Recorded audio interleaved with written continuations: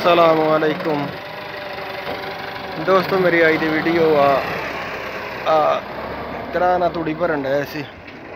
ਮੈਂ ਕਿਹਾ ਵੀਡੀਓ ਦੋਸਤਾਂ ਨਾਲ ਸ਼ੇਅਰ ਕਰਦਾ। ਆ ਦੇਖੋ ਇਸ ਤਰ੍ਹਾਂ, ਆ ਨਵੇਂ ਪੱਲੇ, ਪਿਛਲੇ ਪਾਰਟ ਗਏ ਸੀ? ਇਸ ਤਰ੍ਹਾਂ ਨਵੇਂ ਬਣਾਏ ਆ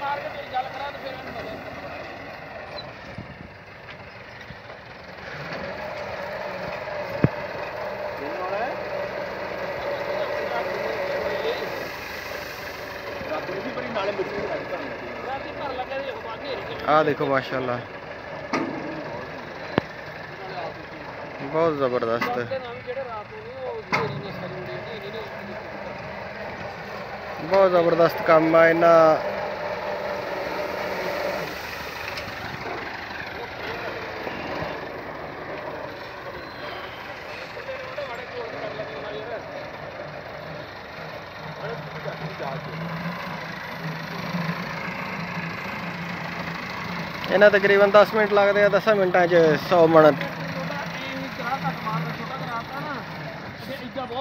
100 ਮਣ ਤੂੜੀ ਜਿਹੜੀ ਆ ਉਹ। ਤਾਂ ਠਾ ਇਦਾਂ ਇਦਾਂ ਕਰਦਾ ਨਹੀਂ, ਹੁਣ ਇਦਾਂ ਨਹੀਂ ਸੀ ਇਦਾਂ ਕਿ ਭਾਰ ਵੱਡਾ ਸੀ ਨਾ ਜੀ ਸਿੱਧਿਆਂ ਨੂੰ ਮਾਰਦਾ